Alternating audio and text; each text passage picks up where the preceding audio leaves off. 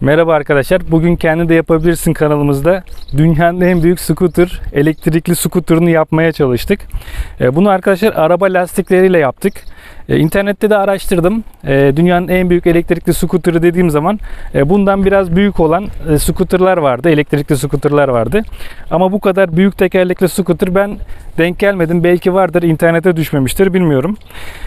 Şimdi arkadaşlar biz daha önce elektrikli bisiklet motorunun içerisini e, araba lastiğinin içerisine yerleştirmiştik. Onu da kartlara ekleyeceğim. Oradan bakabilirsiniz eğer izlemeyen arkadaşlarımız varsa.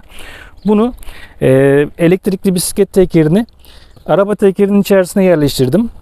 Bunu elektrikle kumanda edebiliyoruz. E, alt kısmına aküleri yerleştirdim. Şurada beynimiz var.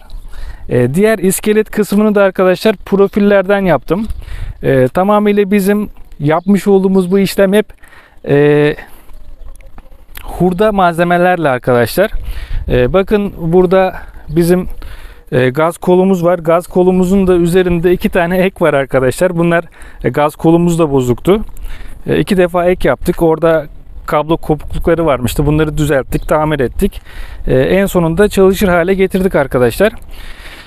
E, şimdi arkadaşlar bu elektrikli scooter'ımızın testini yapacağız. Üzerine bindiğimiz zaman gerçekten çok büyük hissi veriyor ve bayağı bir tepeden bakıyormuşuz gibi oluyor. Direksiyon da epeyce yukarıda. Ee, bunun normalde ikisini de aktif edebilirdik. İkisi de çalışabilirdi. Ama hani ilerleyen videolarda biz e, bu arka tekerlek scooter'ımızı ilerletirken ön tekerlekle de elektrik üretip kendisini şarj etmeyi deneyeceğiz. Olur olmaz bilmiyorum ama deneyeceğiz. Ee, buna kararlıyız. Ee, olur olmaz bilmiyorum. Ama elektrikli bisiklet motorları kendisi de elektrik üretebiliyor. O yüzden bunu deneyeceğiz. Muhakkak denememiz gerekiyor. Şimdi arkadaşlar e, bunu yaptık. Çok büyük.